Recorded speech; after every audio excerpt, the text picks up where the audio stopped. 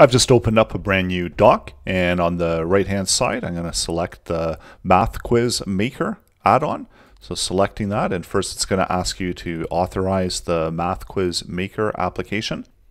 So you get the authorization pop-up window, select the account that you're authorizing the screen with and then going in, select and authorize the application. So that's going to add the add-on to your sidebar window. And then at the top of the sidebar window, first it's going to ask you the number of questions that you want to create. Uh, so this can be a number from anywhere from 1 to 100. The suggested default is 10. And then the maximum number of values for the numbers that are used within the math questions. Uh, so this can also be a number from 1 to 1000. Default is 10. Let's update that and set that to 50. Then the operators that you want to use. You can do addition, subtraction, multiplication, division.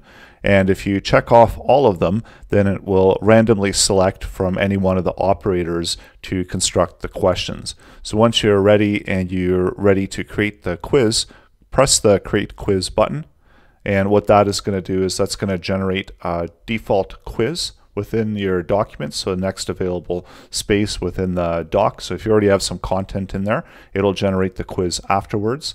And all of the numbers are anywhere from 1 to 50 that are being used within the math questions. And then you can go through and you can check off and add in the fill in the answers and then we have also an option to check the quiz. And what this will do is this will run through all of the quiz questions that we just created and it will check them to see if the answers are correct. The correct answers are going to get a green background. The incorrect answers are going to get a red background and you're also going to get a score generated underneath the quiz. So you can create another quiz and this is again randomly created. So it's going to clear out that previous quiz and create a brand new quiz with new questions that can be answered and also checked the same way that we just did the prior version. So the objective of this add-on is to be able to allow the users of the add-on to practice math questions and have an opportunity to generate some random math questions within a Google Doc